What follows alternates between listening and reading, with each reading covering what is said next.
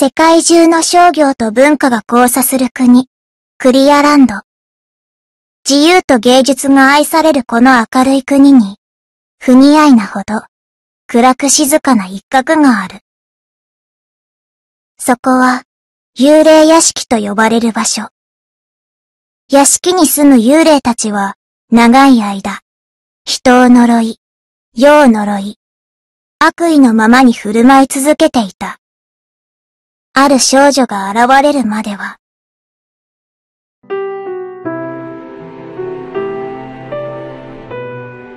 屋敷に置き去りにされた幼子、シトルイユ。彼女が唯一覚えていた魔法は、幽霊たちの悪意を、記憶ごと消し去る忘却の魔法だった。少女との交流で、幽霊たちの病んだ心は癒え、彼らは徐々に、かつての笑顔を取り戻した。しかし、その記憶は戻らないままだった。そうか。この館の住人に死ぬ前の記憶がないのは、シトルイユが忘却の魔法をかけたからだったのか。あなたがいなければ、悲しい記憶にとらわれて、私たちはいつまでも悪霊のままだったでしょう。感謝するわ、シトルユ。うんうん。きっとね、アルマにも、ビザールにも、ずっとこの館で待ち続けたいくらい、苦しくなるぐらい、大切なものがあったはずなんだ。私はそれも奪っちゃったの。だから、ごめんなさい、なんだよ。少女は幽霊たちに全てを打ち明けた後、彼らの記憶を探す旅に出た。屋敷の人形だった私は、彼女を追いかけ、旅に加わった。そして、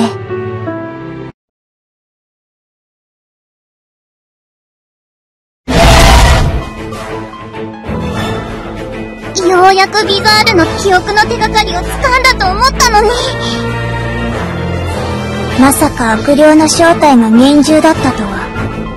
話を聞くのは難しそうですね。ですが、力の大半を失っているようです。本体はとうに失い、今は思念のみといったところでしょうか。私たちの敵ではありませんね。待って拳銃の向こう、トルソーの影に誰かいるなるほど。あれが話に聞いていた幽霊かもしれませんね。なるべく傷つけないで戦える？もちろん、ビザールの記憶を取り戻したいのは、私も同じですから。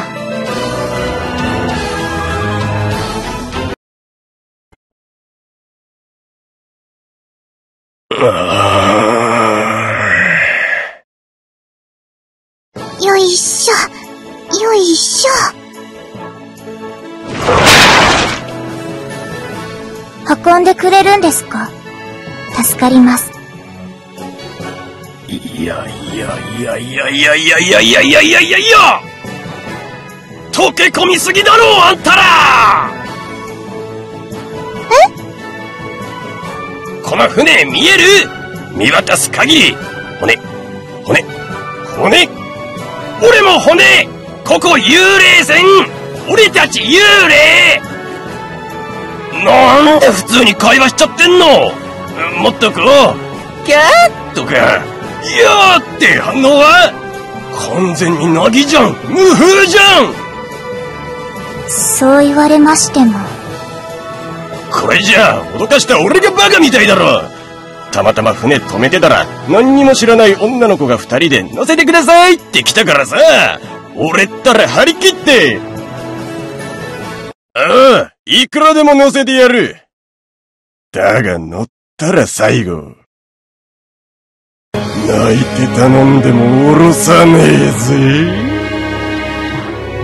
つってここ一番の決め顔見せたのに、普通に、はーいって乗り込んでくるんだもん。どういうこと幽霊怖くないの君たち。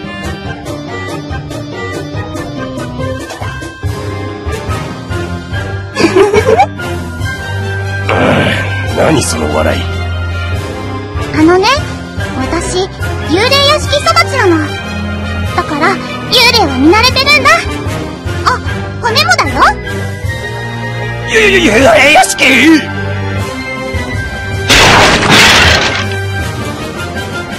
なんだなんだ？脅かすつもりが脅かされてらってか？うるせえ！ちょっと驚いただけだ！しかしよ幽霊なんてろくなもんじゃないぜ。この町にいたなら聞いただろ劇場後にすぐ恐ろしい悪霊の話をよ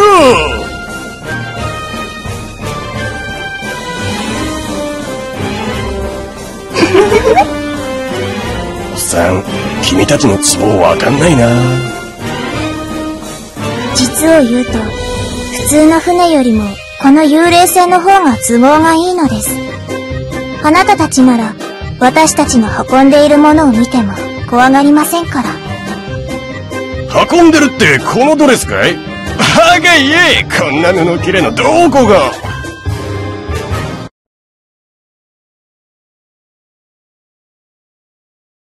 こいつは驚いた。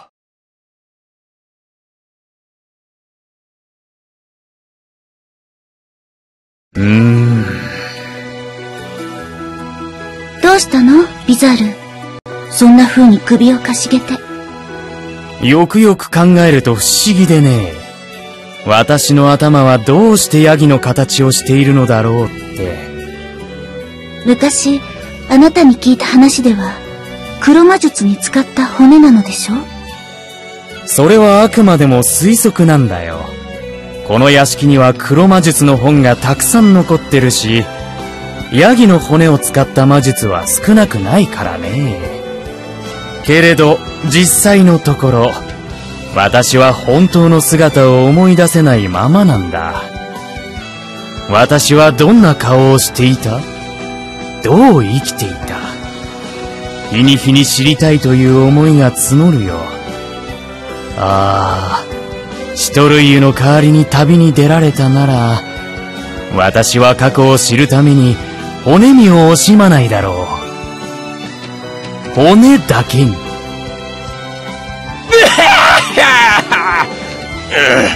誰か俺の骨ギャグ使った？使ってないって？あっそう。そういや、あのお嬢ちゃんたちの屋敷にも骨の幽霊がいるって言ってたな。そろそろ屋敷に着く頃か。船で練習してたあれ、ちゃんと成功するといいな。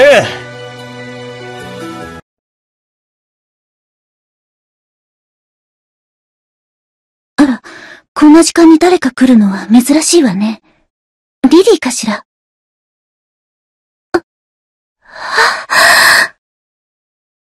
どうしたんだい、アルマ？ただいま。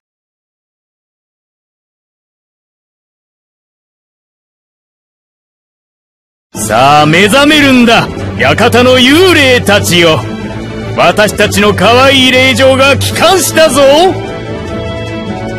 お帰りなさい。会いたかったわ。あなたたちのいない屋敷は、とっても広く感じるんだもの。それで、私たちの記憶の手がかりは見つかったかい？もっとも、可愛い君たちの顔を見ることに比べれば、さまつなことだけどね。見つかったよ。アルマの手がかりがちょっととね。リザールの手がかりが全部。ぜ、リザール紅茶紅茶で、全部ってどうやって？私が死んでからだいぶ時が流れているはずだけど、長くなるんだけどね。サーカスを見て、ブランシルバの隣の寮に行って、ガルニエっていう演劇の都に行って、それから、シトルイユ、ここで喋ってしまっては、せっかくの作戦が台無しです。そうだった。よし、アルマはここに座って。ビザールは真ん中だよ。何を始めるのかな？ビザールの半生を劇にしたんです。順を追ってみれば、きっとどこかで昔を思い出せますよ。えっとね、ビザール。ビザールの人生は、楽しいことばっかりじゃなくて、悲しいことも、辛いこともいっぱいあった。でもね、キラキラ輝いていて、かけがえがなくて、間違いなく、あなたにしか生きられない人生だったよ。だから、どうか、最後まで、見届けて。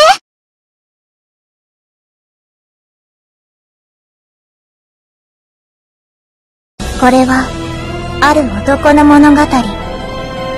舞台に見せられ、人を見せ、喝采とともに消えた男の物語。それは、歴史にきらめく、焦ない一幕。悲劇とは呼び難く、されど決して悲劇ではない。ある男の物語。ある男の物語。それはおよそ200年前、ブランシルバに隣り合ったある寮の伯爵の館から始まります。ただいま愛しの妹よ。兄は今、政務が終わったところだよ。私がいない間も、健やかであったかな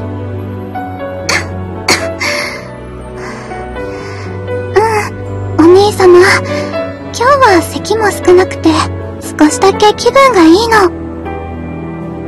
お兄様のくださった世界地図を見ていたわ。それから少し遠くへ行きたくなって、窓のそばまで歩いてみようとしたんだけど、うまく歩けなくって、転んだところをクスノキに見つかってしまったの。慣れないことはするものじゃないわね。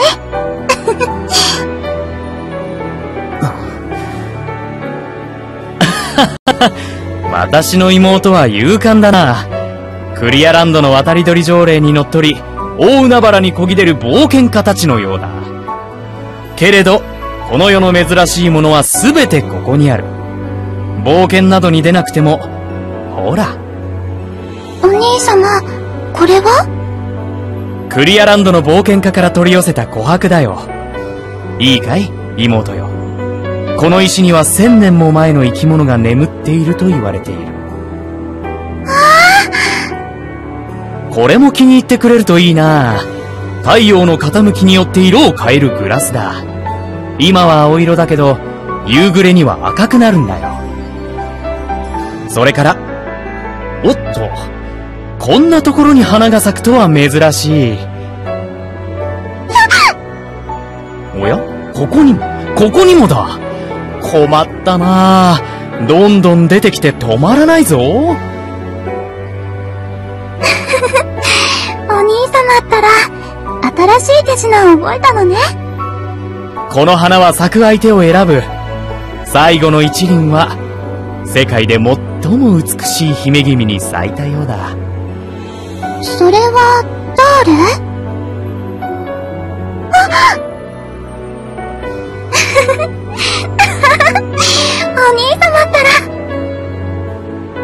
喜んでくれたようで何よりだ。そうだ。今度広間に舞台を作って、もっと大掛かりな手品を見せてあげよう。水に沈んだ棺からの脱出。真っ二つの体で踊る単語。どうだい？想像もつかないだろう。そ、そんなことをして、お兄様は大丈夫なの？さあ、教えられないなあ。お披露目を楽しみに待っていてくれ。妹よ。今日を楽しく過ごせば、明日にはもっと楽しい日が来る。明日を楽しく過ごせば、またその先も。珍しいものも面白いものも何でも見せてあげよう。心配はいらないよ。世界の全てはここにあるんだ。だからどうか、いつまでも笑っていてくれ。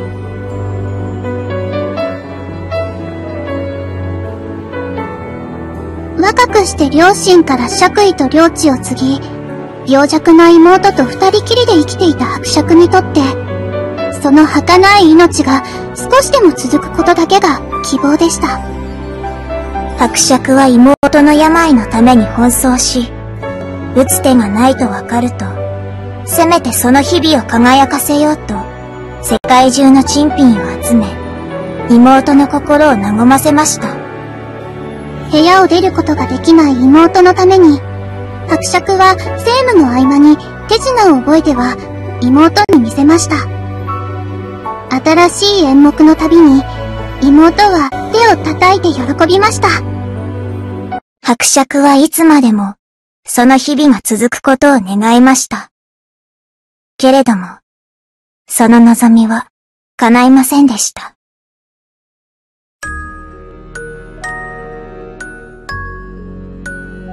ほら、箱を開くと人形たちが舞踏会を始めるオルゴールだ。瞬きもするんだよ。ほら、新しい演目だよ。手を広げると、色とりどりの羽が飛び出すんだ。赤に、緑に、黄金色。見えるかい？ありがとう、お兄様。だけどね、もう、目もあまり見えないの。おもちゃも宝物も、いっぱい見せてくれて、ありがとう。最後に、もう一つだけ、お願いしていい？なんだい？私、お兄様の笑った顔が大好き。ねえ、笑った顔を見せて。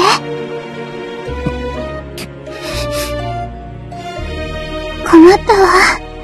真っ暗になっちゃって、よく見えない。お兄様、今、笑ってる。ああ。笑っているよ。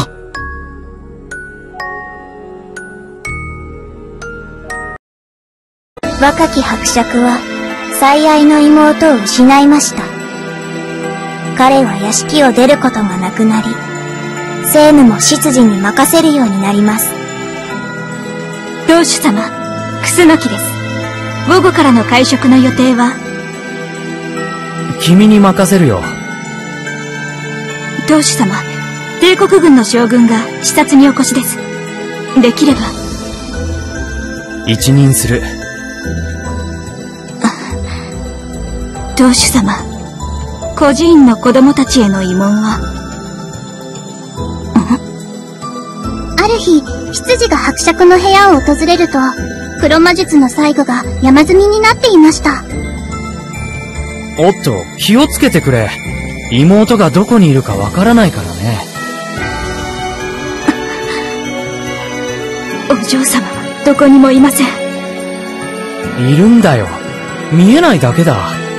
呼び出す方法さえあれば、すぐにでも戻ってくる。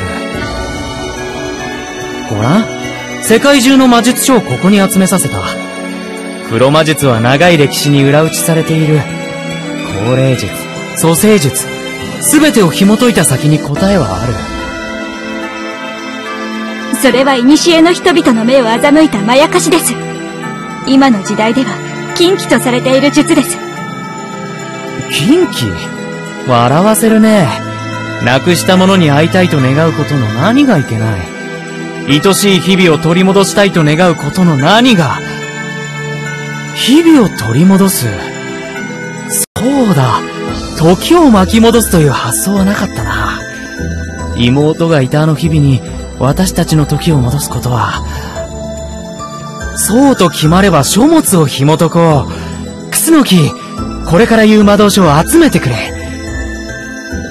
主様？時を巻き戻すんだ。美しい日々を取り戻すんだ。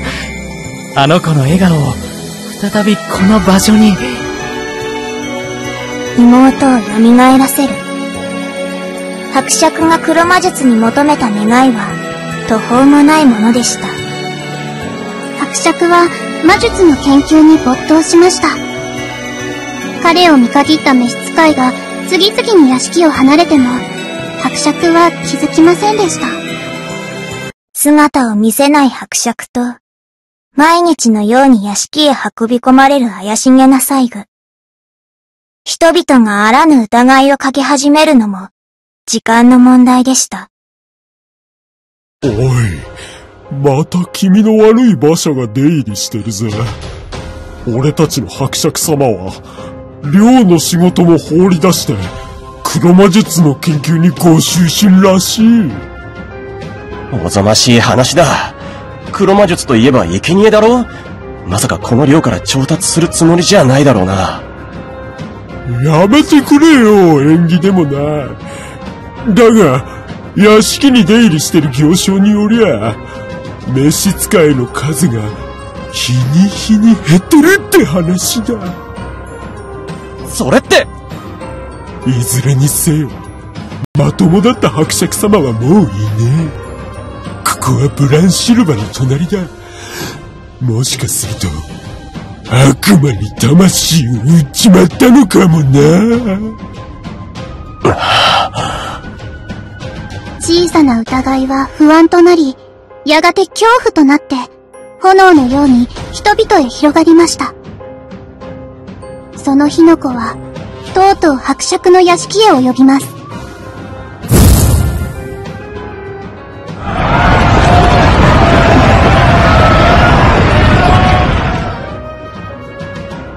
暴動。この数の民衆、私では抑えられない。誰か、誰か出られるものはありますか？誰もいませんよ、クスノキ様。屋敷のほとんどの者は当主様に愛想を尽かし、残りはこの暴動で逃げてしまいました。あなたも早くお逃げなさい。いくら当主様が恩人とはいえ、潮時です。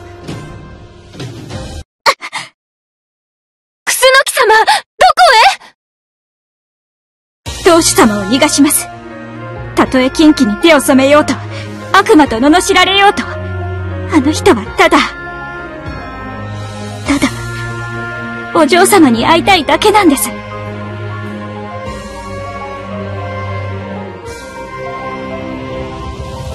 ああ、クスノキ。いいところに来たね。人の魂は絵画に宿ることがあるらしい。見てくれ。妹の肖像が笑いかけてくれたんだ。やはりあの子の魂はここにある。違う。炎の熱で絵の具が滲んだだけだ。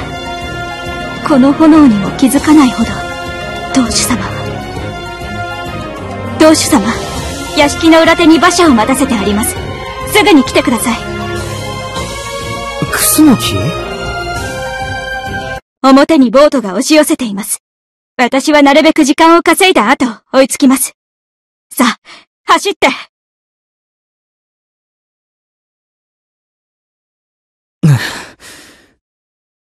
報告は以上です、同主様。ボートにより、屋敷は消失を免れないでしょう。ですが、あなたが生き残ったことだけが幸いです。この馬車は今、港へと向かっています。そこで船に乗り換え、クリアランドの別邸へあなたを移します。元の屋敷よりは手狭になるでしょうが、生活の心配はありません。先代が生前。屋敷の皆は無事かな？ええ、すべての使用人を無事に逃がすことができました。クリアランドへの同行は私のみとなってしまいますが。そうか。寂しくなるね。これからはよろしく頼むよ。当主様。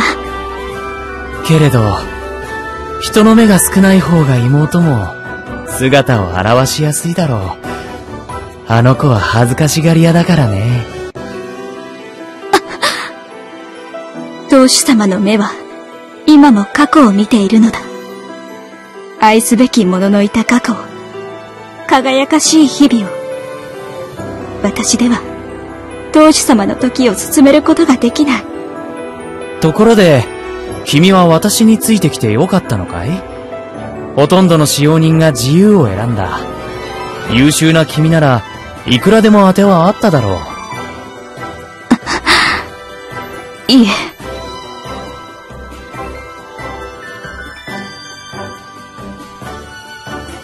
仕事ですので。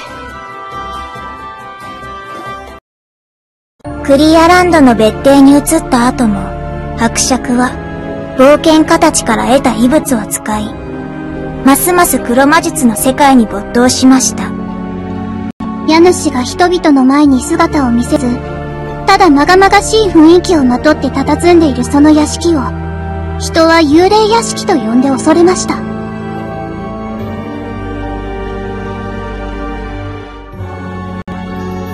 見てくれ、クスノキ。この地には世界中の珍しいものが集まるようだ。この剣には古い騎士の魂が宿っているらしい。魔力は感じるけれど、どうすれば呼び出せるだろう。当主様、屋敷にこもりきりではお体に毒です。私や行商に頼らず、少しは街に出てみてはいかがですかとんでもない。町の人々は、この場所を幽霊屋敷と信じて恐れている。主の私が表に出れば、怖がらせてしまうよ。ああ。当主様はこの後に及んでも、なお優しさを失われていないのだ。ただ、それを向ける相手がいないだけで。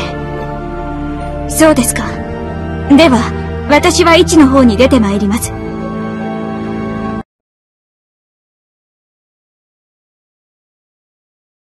スノキにも苦労をかけてばかりだな。あの子の魂を、早く呼び戻せるといいんだけど。よいしょ。ここなら誰も来ないでしょうか。ん？庭に誰かが？大丈夫。誰もいない。ここなら誰も不幸にしないで済みます。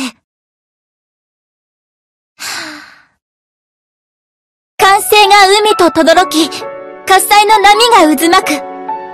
この舞台だけが私にうつつを忘れさせる。これは。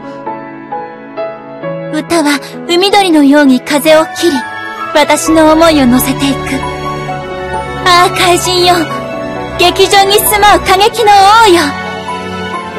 あなたの空にも鳥は飛びますか？これは。戯曲だ。私はこの演目を知っている。そうだ。これは確か。お兄様、今日は第2幕を読んで。妹の好きだった過激座の怪人。劇場に取り付いた怪人が歌姫に恋をするという筋書きも。声の限りに命の限りに喜びの歌を。普及のものなどない世界で、ただこの旋律を永遠に。懐かしい。歌姫は怪人の手ほどきで大成するが、人々が歌姫をもてはやすようになると、嫉妬した怪人に舞台を妨害されるんだったな。ああ、時の神よ。願わくば、この一瞬をとこしえに。姫怪人が妨害するのは次の幕だ。あ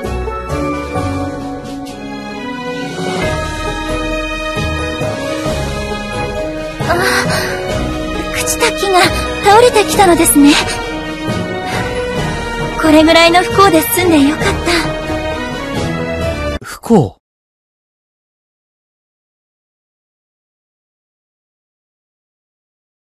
歌は海鳥のように風を切り、私の思いを乗せていく。また彼女か。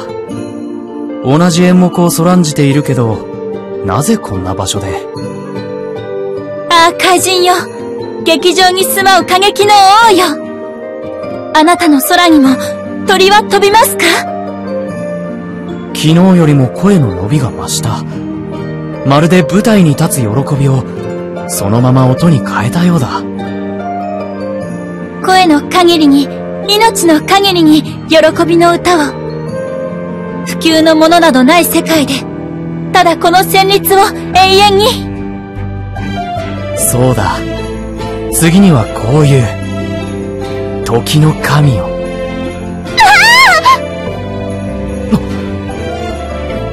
よかった。石壁が古くなっていたのですね。あと少しで下敷きになってしまうところでした。来る日も来る日も、少女はここで、過激座の怪人を人知れず演じては、小さな不運に見舞われて去っていった。何度不幸に襲われても、少女は演じることをやめなかった。まるで、怪人の妨げを受けても歌をやめなかった過激座の歌姫のように。声の限りに、命の限りに、喜びの歌を。だからだろうか。少女は日増しに歌姫の役へと近づいていった。いつの間にか、私は少女が来た時だけは、手を止めるようになっていた。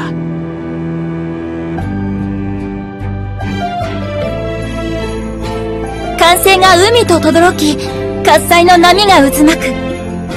この舞台だけが私にうつつを忘れさせる。堂々としたものだ。歌は海鳥のように風を切り。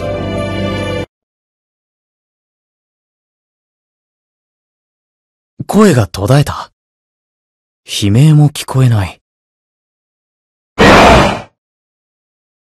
倒れている。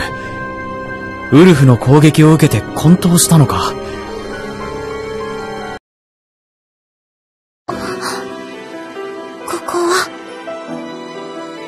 目が覚めたようだね。驚かせてしまってすまない。君がモンスターに襲われていたから、追い払った。目立つところに外傷は見当たらないけど、心配なら執事に手当てさせよう。立てるかい？屋敷の入り口までは、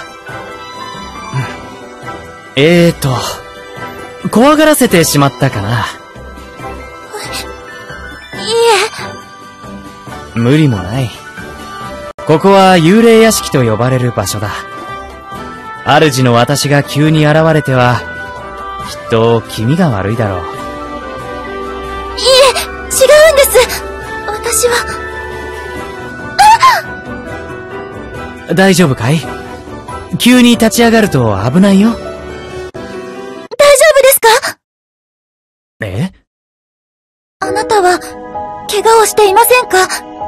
私が気を失っている間、何か事故のようなものは起こりませんでしたか？怪我？事故？何の話だ？私、不幸を引き寄せるんです。近くのものが壊れたり、私に向かって倒れたり、さっきみたいにモンスターを呼んでしまったり。私だけでなく、私のそばにいる人まで不幸は及びます。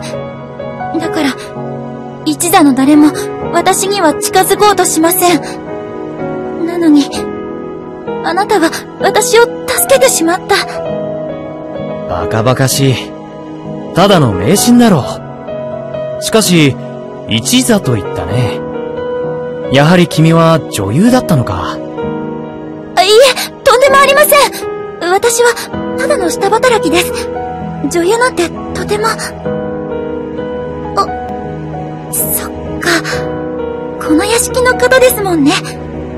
私が毎日ここでお芝居をしていたのにも、気づいてましたよね。それは、すみません。誰もいないと思ったんです。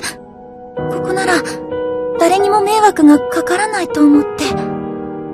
女優なんてとんでもありません。幼い頃から身寄りがなく、この体では働ける場所も限られて、今も小さな劇団の下働きを務めるのがやっとで。なら、なぜ？そんな私でも、お芝居を聞いている時だけは、現実を忘れて物語に浸ることができたんです。自然と覚えていたセリフをつぶやくと、いつでもここではないどこかへ行けるような気がしました。私ではない誰かに、なれるような気がしました。それが楽しくて、お仕事が早く終わった時だけは、特別に誰もいないところでお芝居の真似をしていいということにしたんです。そうか。声の限りに、命の限りに、喜びの歌を。歌姫に扮した彼女が歌っていたのは、演じる者の喜びそのものだったのだ。だからあれほど心を打ったのだ。呆れてしまいましたよね。女優でもない、ただの下働きの私が、お芝居の真似をするなんて。違う。きっと、罰が当たったんだと思います。身の丈以上の幸せを私が願ってしまったから。いつまでも演じていたいと、願ってしまったから。安心してください。もうここには来ません。優しいあなたに不幸が移っては大変です。親切にしてくれて、ありがとうございました。待ってくれ。その、下手なお芝居を聞かせて、ごめんなさい。待ってくれ君の芝居は下手ではない。演じるのをやめる必要はない。君は、君は、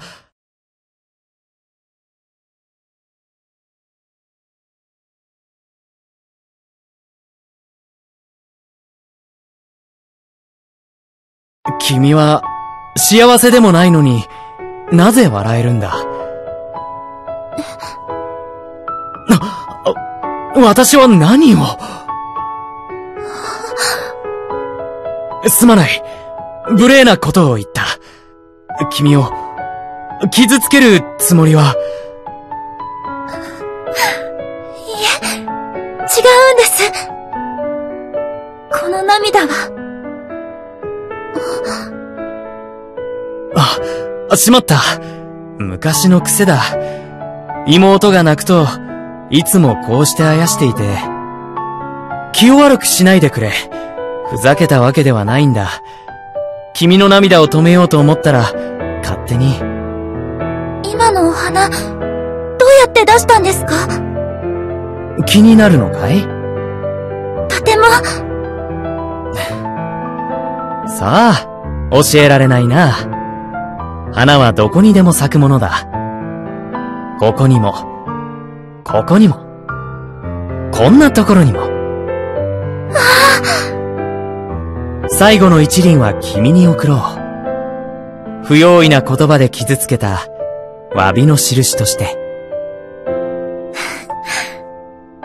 お花はいりません。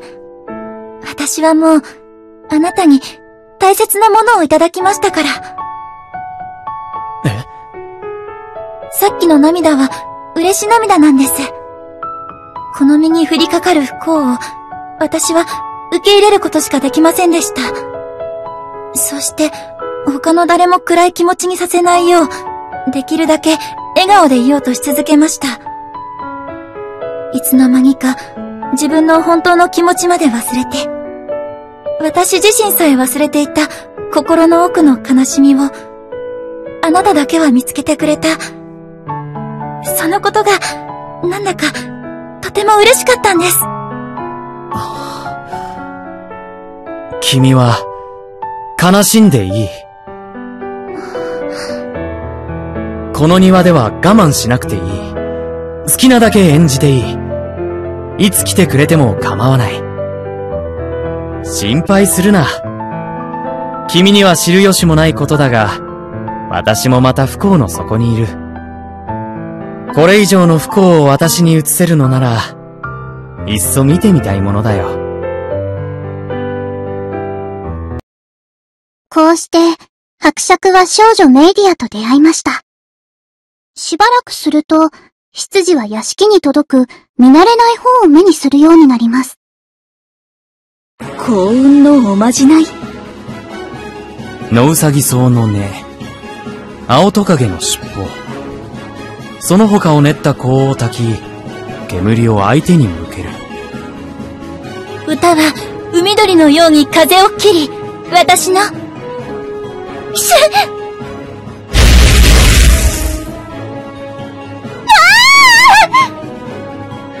逆効果か。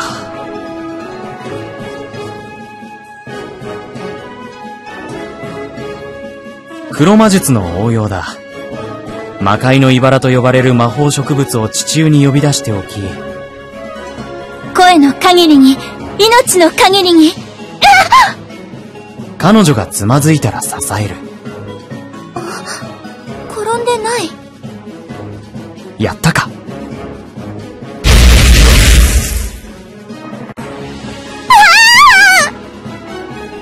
折れた木の枝が降ってくるなんて、思わないじゃないか。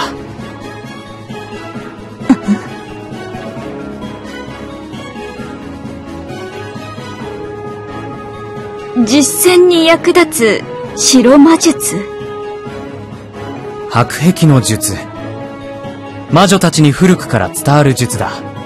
風を編み、光の力を加えて半円の壁を作り、向かう力を跳ね返す。言葉で像を描き、意志を魔力に変える。壁を作れ。彼女を守れ。不幸の闇の中で、なおも光を見失わない、気高い彼女。ノーブルウォール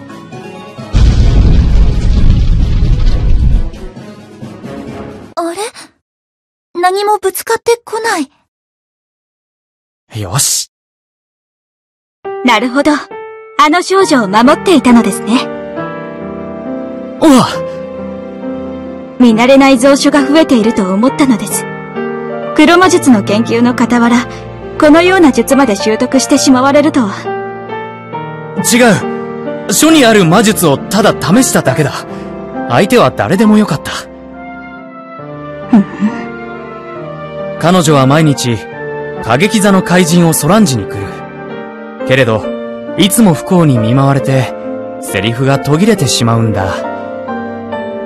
止まった劇の続きを聞くために魔術を。続きを聞けないままでは落ち着かないだろう。おかしなことでも言ったかな？いいえ、おかしくなんてありません。それが正しいのです。当主様の目は、今も過去を見ているのだ。私では、当主様の時を進めることができない。物語の続きを知るために、初めてその手で時を進めた。それはきっと、正しいことです。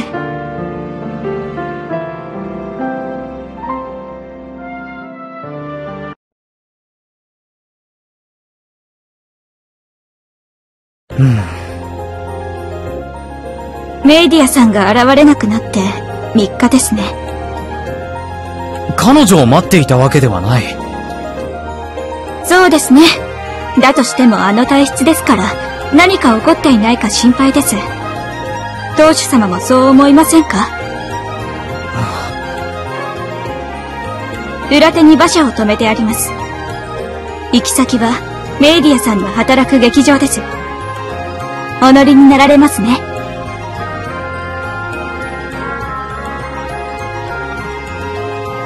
ここが例の劇場か。だけど、メイディアの姿が見当たらない。おいおさっとしてる暇はねえぞとっとと準備しろ俺の仮面どこ行った？あれがなきゃ怪人になれねえよ。知らないわよ。それより、あの子は大丈夫なの ?3 日で舞台に立つなんて。看板が逃げちまったんだからしょうがねえだろそれもこれも、あの主戦度のメギツネがギャラふっかけやがったせいだ主戦度はどっちだよ。だいたい、座長がケチなこと言わなきゃ。お待たせしましたけ、孫にも衣装か。てめえはあくまで代役だ。余計なことはするなよ。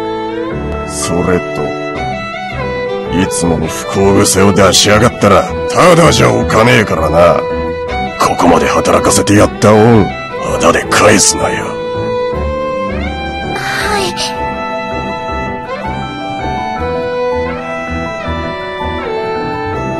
い。しばらく姿を見せないと思ったら、随分な大役をもらったようだね。伯爵さんはい。3日前からで練習していて。主役が座長と喧嘩別れして、セリフを覚えていたのが私だけだったんです。本当は、私みたいな下働きが出てはいけない舞台なんですが。君は女優だよ。舞台に立つ以上ね。伯爵さん。私なんかが舞台に立って大丈夫ですか？誰かを不幸にしてしまいませんか？君の演技は誰も不幸にしない。唯一の観客がそう言うんだ。間違いはないだろうおい入れの時間だぞ何してやがるいいかいメイディア。余計なことをするんだ。用意されたセリフを読み、与えられた舞台を踏むことは大切だ。だけど、君にはもうそれができる。ショートは贈り物だ。愛すべき観客に、かけがえのない記憶を送る。役を全うできたら、最後に一さじの愛を乗せろ。不幸など恐れるな。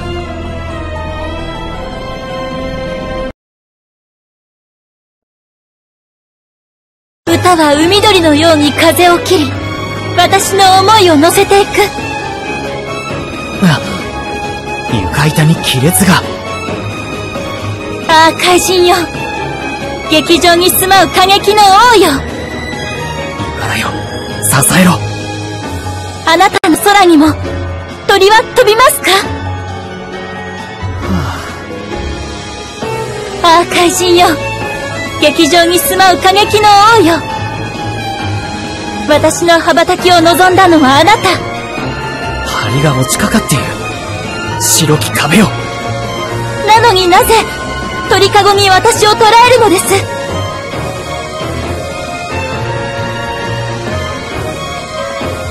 ああ、怪人よ。劇場に住まう過激の王よ。過激座から人は消え、今は舞台に私一人。いよいよ最終幕だ。最終幕では、怪人の妨害で名声を失った歌姫が一人舞台に立つ。その歌声に心を打たれた怪人が歌姫を解放し、物語は終わる。舞台がそこにある限り、歌がそこにある限り、鳥は飛ぶのをやめぬでしょう。雷が落ちようとも、嵐が吹き荒れようとも。それでもショーは続いていく。それでもショーは、シャンデリアが、舞台の真上だ。壁で防げるか。いや、防げたとしても間に合うかは。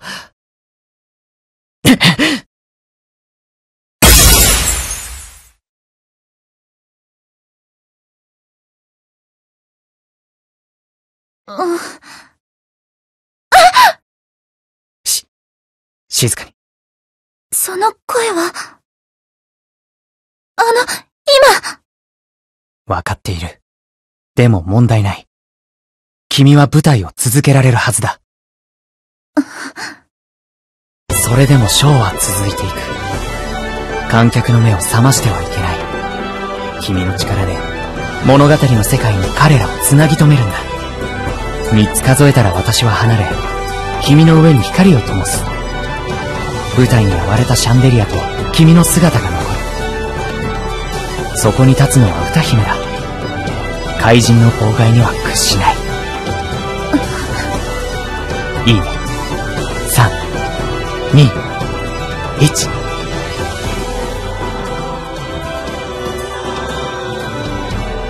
それでもショーは続いていく私は舞台に立ち続ける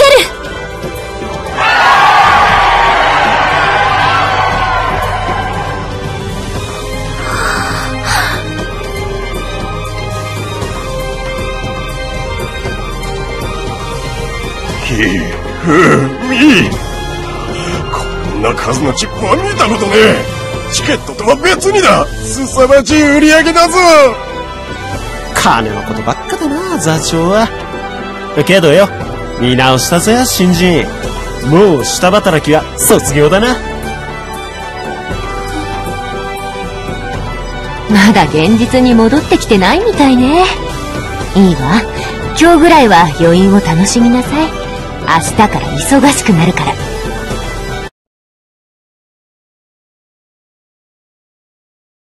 いい舞台だったね。割れんばかりの拍手だった。伯爵さんあ、あの、シャンデリア。ありがとうございました。でも、お怪我はありませんでしたか？白壁の術。身を守る術を自分にかけて、君のところに駆けつけたんだ。間に合ったようでよかったよ。舞台からの景色はどうだった？眩しくて、眩しくて、眩しすぎて、まだ焼き付いているんです。物語に合わせて変わるお客さんたちの顔が、笑顔が、驚きが、涙が、喝采が、私が物語からもらっていたものが、セリフとなって口から溢れて、それが、お客さんたちに、届いて、うん。眩しくて、もらったものが大きすぎて、同じ光を返してあげたくて、もがいて、輝いて。いつの間にか、舞台が終わっていたんです。私は、怒りを残してあげられたでしょうか？それは、観客の顔から知るといい。ごらん。まだ夢から覚めていないような、幸せな顔をしているだろう。君が残そうとした輝き。それこそが、一筋の愛だ。100本以上の物語を、君は彼らに送ったんだよ。当主様、お迎えに上がりました。クスノキじゃないか。どうしたんだい？そんな顔をして。当主様、外は少々冷えます。こちらの街灯をお召しになってください。ああ、わかった。それじゃあね、メイディア。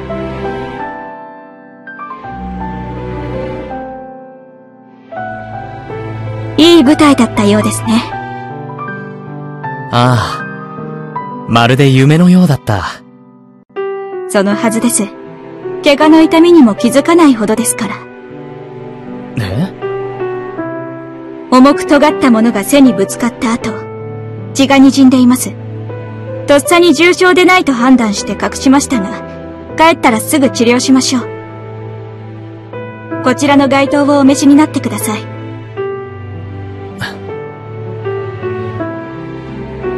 なんてことだ。白壁の術が不完全だったのか。